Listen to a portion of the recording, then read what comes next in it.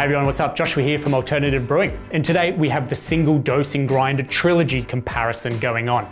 As in front of me, we have the Niche Zero grinder, the DF64, and the Eureka Oro single dosing grinder. So we'll be doing a head to head to head with these grinders.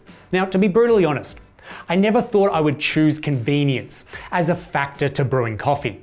But in this scenario, when I have three really great grinders and they all make coffee taste amazing, that convenience of the Niche Zero just outweighs that of any of the other aspects of these grinders.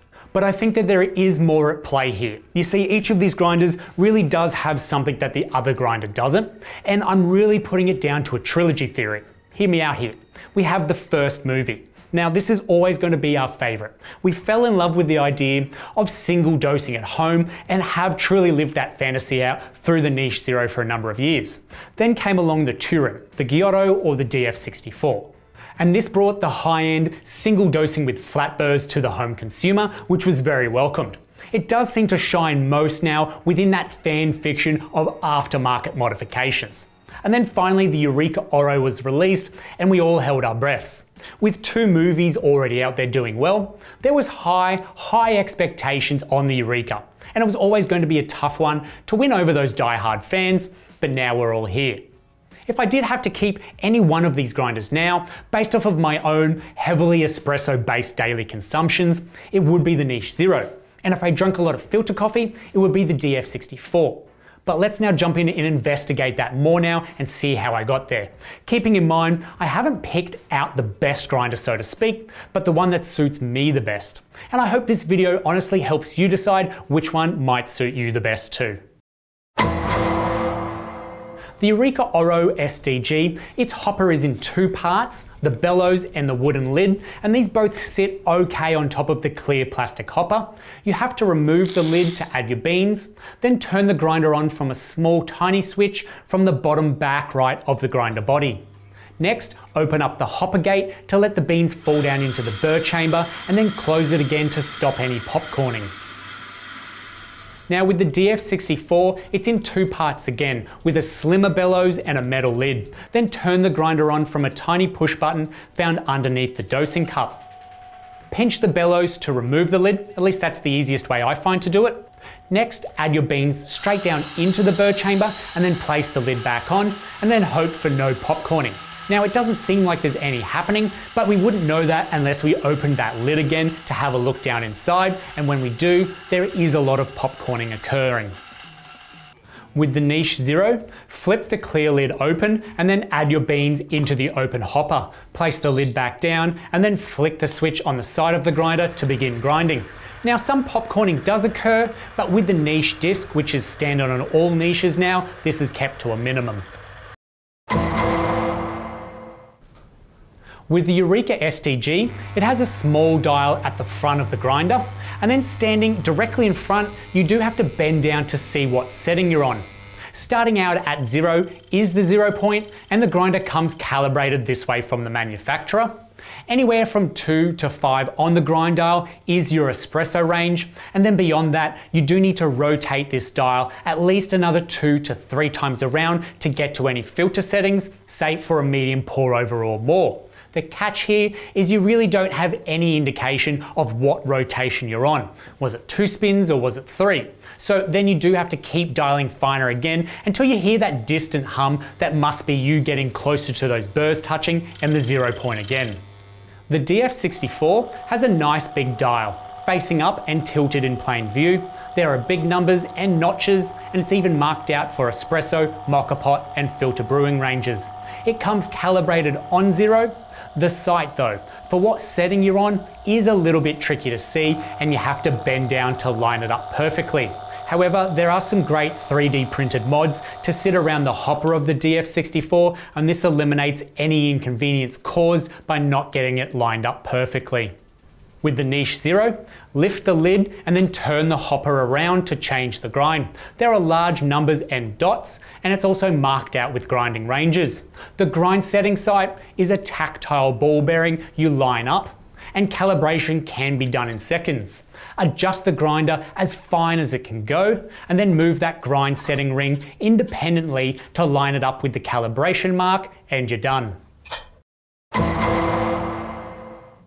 The grinds escape the chute cleanly out of the Eureka SDG, but they do leave a little bit of dust here and there around the chute when you use that bellows system, which you have to every time you grind to ensure that full dose is evacuated and it lives up to its low retention promises. The catch cup is a 58mm stainless steel cup that holds a maximum of 55 grams, and this sits on top of a heavy metal disc to stop the dosing cup vibrating around, and then a magnetic wooden footing is placed under that. Now, it doesn't come with a portafilter rest, but when adding a regular Eureka one in, that gap is still a little bit too far to avoid a mess, even when using a dosing ring. The DF64 similar to the Eureka, grinds out cleanly from the chute, but does get a little bit messy when you have to use that bellows to purge the full dose out. And it is set a little bit too far away from the chute to avoid this mess. There is, however, modifications available to adjust the position of this catch cup in order to get a better position and a cleaner workflow whilst grinding, and these should become standard with future shipments of the DF64. Now it uses a clear plastic 58mm dosing cup holding a maximum of 50 grams.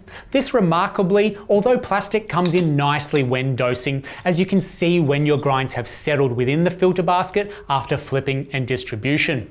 And the cradle also seconds as a universal portafilter rest. You do want to use a dosing ring to avoid any waste. With the Niche Zero, its chute is on a slightly greater vertical angle than the other grinders.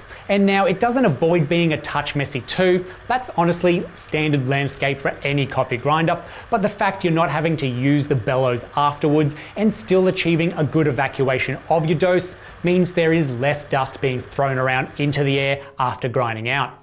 The catch cup, a 58mm stainless steel one, holds around 70 grams and has since been updated to remove any ridges on the inside of the cup that was causing grinds to get stuck on transfer. Alright, I'm calling a team meeting here. I want to bring it in. Bring it in. And talk honestly here about the decibel ratings that we find on grinders these days. As I think we've gotten to a point almost and I'm happy to be completely wrong here, where grinders are as quiet as they're ever going to get. It's around 60 decibels that I've recorded the quietest grinding. And if you check the World Health Organization, they're going to say anything over 65 decibels can be harmful over an extended period of time. So bear that in mind. We're only grinding 18 or 20 grams of beans for much less than 30 seconds. Now, I do realize it's not our own eardrums that we're concerned about when we do shop for a quiet grinder, as it is about waking the rest of the household in the wee wee hours of the morning. But for argument's sake, things like a vibration water pump on an espresso machine and then steaming your milk are louder and can last for much longer than a grinder does. So I feel like the grinder making all the noise in this scenario is a bit of a scapegoat. Look, grinders were loud at some point, but manufacturers are competitive now to this noise production. And I'm really curious though on your thoughts on how the grinder's noise production should be measured, especially here in the studio. Should it be calculated straight up decibel reading in front of the grinder, or should I take my phone out into the next room and then measure the noise from there? Or does it really rely on how long the grinder also has to operate for, as this does add to the overall impact of the noise pollution? And there's a few ways to look at it. For today, I'm just going to be measuring the straight up decibel reading and then the length of time these grinders take to grind out a full dose.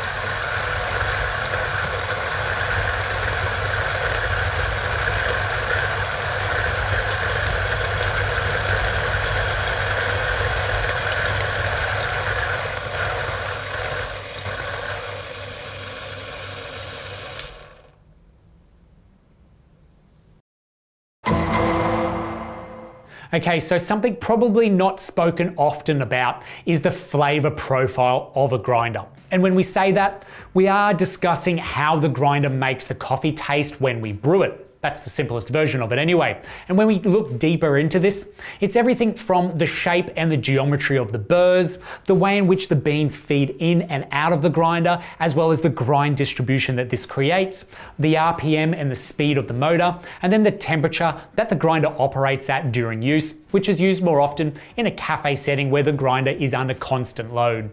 But it doesn't go without saying, there is a large margin in the flavor profiles that are the Eureka and the DF64 with similar flat burrs versus that of the Niche's conical burr from Mazzer. And even that difference between that of the Eureka's stock 65mm burr and the highly recommended SSP burr upgrade to the DF64, these are closer in flavor profiles than that of the Niche's conical burr. And this is where it gets a little bit grey, or for a better term, subjective for your preferences. Now I did say that the Niche has a different flavor profile using the conical burr than the Eureka or the DF64 have or could have using flat burrs, but overall they all make coffee taste amazing. So if you are a true connoisseur of those transparent flavor notes of the coffee that you're brewing, then you may well want to make that distinction between these differences. So largely, between dialing all of these grinders in to two beans, one was an espresso blend and the other a Central American single origin coffee, here are the flavor experiences I had. For the blend, the Eureka grinder gave the coffee a nice silky texture up front, along with a well-balanced acidity and a tingling sweetness. There was a light, medium body and a rounded finish to the espresso, and it had two of three flavor notes that were expected in the coffee. Most pronounced were a brown sugar, tailing off to a dried fig sweetness. The DF64 had a soft texture on the palate up front with a good initial acidity that gave rise to a brown sugar sweetness, followed by an almost 70% dark chocolate creamy undertone. It did however have a very light body and a fast finish. The most pronounced flavour notes were of dark plum, brown sugar and molasses. Now the Niche Zero had a super velvety thick texture over the tongue, carrying a balanced acidity and a rich sweetness. There was a heavy body and a long lingering finish of 95% dark chocolate. The most pronounced flavor notes were of a light molasses and that 95% chocolate that tailed off to a brown sugar aftertaste. Now, when it came to the Costa Rican coffee, the Eureka had a bright, heightened acidity with a silky texture and a medium bittersweet blood orange body. The pronounced flavour note was of wildberry, and this lingered softly within a clean finish. The DF64 had a much lighter body and a softer texture with a balanced acidity of blood orange harmonizing with the rich sweetness of wild berries. It had a clean, fast finish to it and those flavor notes of wild berry and blood orange nice and transparent, sharing the spotlight between acidity and sweetness. The niche brewed a heavy, creamy texture to the espresso, and it followed with a bold, rich body of a round, balanced acidity and sweetness. It carried a strong, lingering toffee to the finish, with pronounced flavour notes of toffee and a subtle, blood orange bitter aftertaste. So I would say there are no real surprises here in regards to the cup profiles that these grinders all produce, with the Niche Zero's conical burrs creating a very round, strong, and full-bodied espresso, with balances of acidity and sweetness, but really capitalizing on the heavy texture of the coffee, and this adds to a long, lingering finish in the cup, whereas the DF64, this seems to be on the lighter side of a cup profile, favoring more softer textures with a muted body and aftertaste, but really highlighting the brighter flavor notes of a coffee and then shining through with transparency. And the Eureka, well, this was the all-rounder here, and it shared a good amount of texture with cleanliness, but then produced some very bright, sweet coffees and still had enough body to produce a lingering, enjoyable aftertaste. So for this I used a standard cupping, dialing in the grinders to a medium pour over grind of an average 550 to 600 microns and using a single origin Ethiopian coffee. I used three passes across each of the cups to see how they all developed. With the Eureka Oro, the first pass had a very nice soft peach with a low acidity up front, a nice silky texture that gave way to a juicy mouthfeel. On the second pass, it began to develop some more even with a complex mandarin sweet body that lingered through to a medium length finish. And then on that third pass, well, it didn't really develop all that much more, but did maintain a good juicy mouthfeel and that tasty mandarin sweet finish. With the DF64, the first pass had a mandarin sweetness just jump out at the cup at me. It was a very juicy flavour with a heightened acidity. Not a lot of texture and quite a clean, fast finish.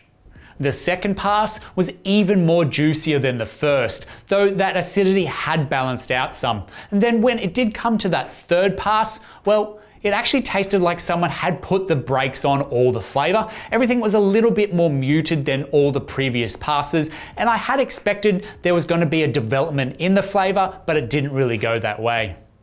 The Niche Zero's first pass, there was a dark honey sweetness in there with a very creamy texture and a nice balanced acidity up front. And there was a long lingering subtle baked peaches on the finish. The second pass, it brightened up a little bit and gave hints of mandarin, still with a nice strong body. That third pass though, everything rounded off a little bit, but overall, it seemed like the coffee got a little juicier as time went on.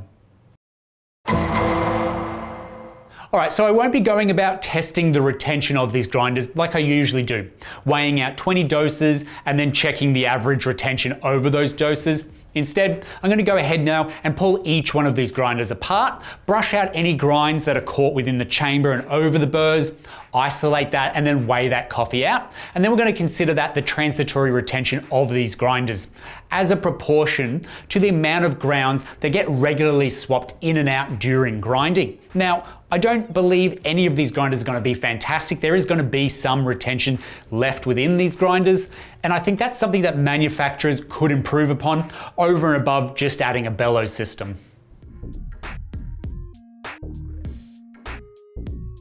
Now with the Eureka Oro, it is pretty straightforward to access the burr chamber.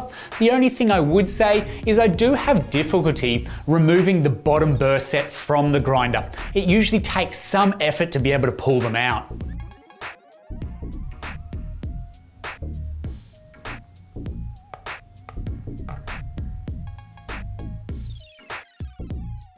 The DF64, this is much easier to access, and then pulling those burrs off is simple and easy.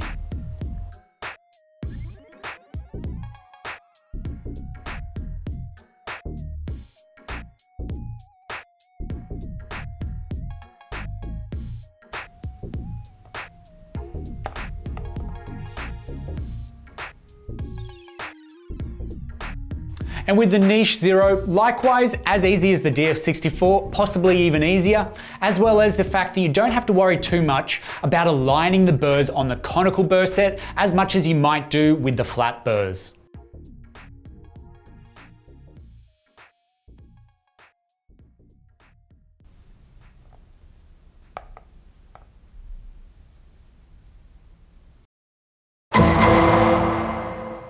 All right, so for me, the niche has it over the rest, just in its simplicity of workflow. From dialing in to calibrating to cleaning and maintenance, it really makes light work of it all. And if you don't have to fuss or tinker with it, then that's fantastic. It's straightforward, it's super quiet and very user friendly. Flavor wise, I guess it's not as nuanced a flavor profile as the DF64 or the Eureka is, either in espresso or in filter as there is that large gap between these profiles. But I think if you're into bright, fruity, light roasted coffee, it's still going to work with the Niche Zero, as you won't immediately be brewing battery acid before you then spend a little bit of time dialing your coffee in, and it also adds depth to the coffee and works exceptionally well with milk-based drinks. So espresso, but for full-time filter coffee, anything needing a coarser grind with higher uniformity grinds distribution, yeah, this is not that grinder for that. And it would be a little bit more of a murkier profile with not as much clarity, but good balance overall. Of course, there are other considerations when it does come to purchasing a Niche Zero, like price and availability, which do vary, and that's a little frustrating when you can consider there are other grinders out there for half the price and still with pretty decent performance. But this is a niche zero. It is a market tested grinder that proves great results time and time again, and the moment it shows up on your door, you know what you're getting. Now, the DF64 has a lot to offer. Straight out of the box, there are a few flaws, but these don't really stop it from brewing some superb tasting coffee, either for espresso or in filter. And it really does shine at doing both of them well, favoring brighter, more juicier flavors in coffee, and it works really well at preparing black coffee with transparent and clean cut profiles but then it can really, really excel at this when you consider the modifications that are currently available to this grinder, like an anti-popping screen, a grind setting indicator, a modified anti-clumping screen, and a grinds cup adjuster. And then, if you leverage off of the many aftermarket SSP burr sets that are available, whoo, this would unequivocally get you the best grinding performance out of any on this lineup.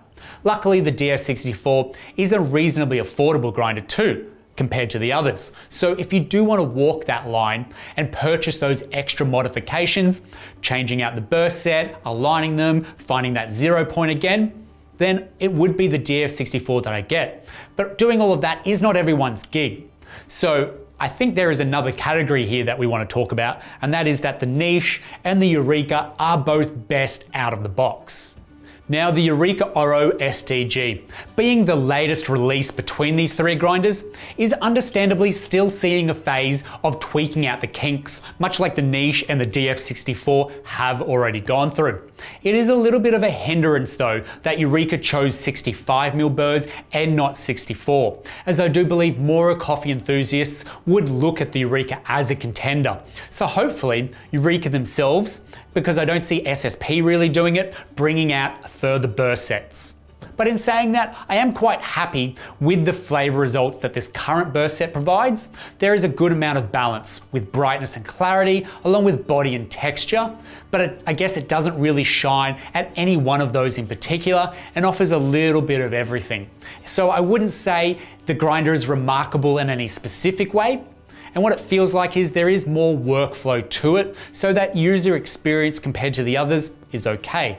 It is Eureka's premium grinder of choice though for home coffee enthusiasts looking to further explore great coffee. So I do feel like there needs to be a little bit more time on the market for everyone to accept the Eureka Oro SDG and then hopefully, and despite the fact of those 65ml burrs, there are people willing to pick this grinder up and then begin to work out those little things that the niche and the DF64 have already gone through.